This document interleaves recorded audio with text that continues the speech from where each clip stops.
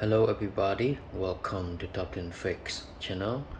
Today I want to show you how to hard reset on Vivo V30 Lite. That is the, the brand new one.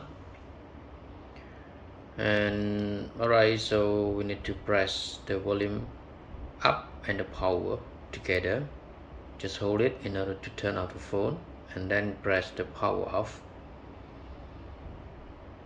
and wait for the powering off completely. After that hold the volume up and the power together.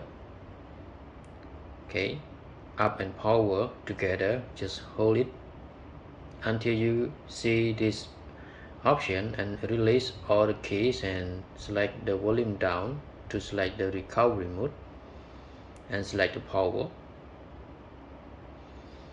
and the phone will reboot to the recovery mode.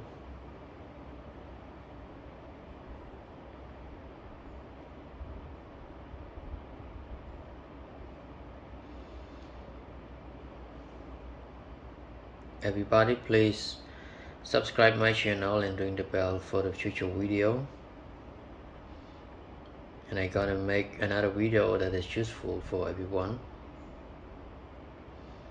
okay right here is called recovery mode and then we need to select on the clear data okay and clear your data and select on ok.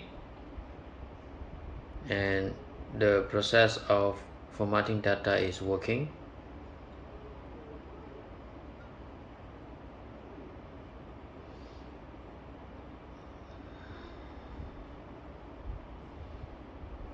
okay that is done and select on return and then go back.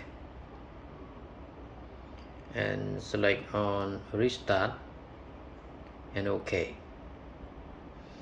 and the phone will automatically automatically reboot to the menu. It may take about five minutes. Everybody again please subscribe my channel and ring the bell for the future video. And Thank you for watching. Goodbye.